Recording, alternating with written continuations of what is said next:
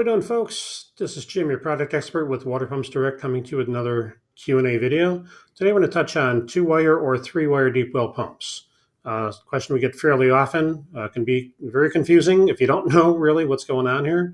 Um, these are going to be, um, again, in deep well pumps, usually on four-inch or larger diameter um, pumps, um, and they'll list be listed in the description field as two or three wire. Now, the confusing part comes in that these pumps, when they include that description of two or three wire, that description does not include the ground wire, that green ground wire that's sticking up over there.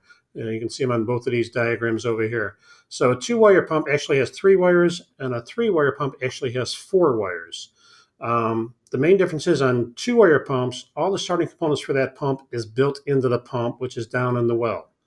Um, on the three wire pump, all the starting components like the run and or start capacitor, a relay overload, whatever else might be needed, is in a control box that you see over here.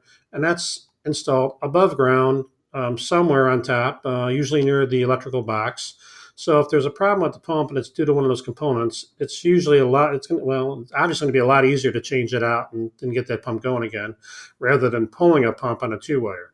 Now, granted, the two wires usually have a few more bells and whistles included to, to try and uh, help prevent any kind of problems um, on those. They're usually more solid state, um, but sometimes it's more of a preference. A lot of DIYers like to go with the three wire and have that capability. Um, know, back in the day, you used to have two wire pumps, and then it would have the ground wire before you really had the, the day with the with the three prong plugs and all that stuff, and you didn't really use a ground. Uh, your installer would cut that uh, or snip that ground wire off at the pump, and you would never run it. Well, nowadays these pumps really need that ground to operate effectively and efficiently.